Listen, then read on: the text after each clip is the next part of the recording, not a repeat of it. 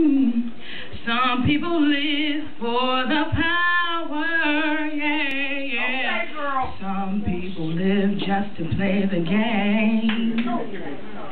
Some people think that the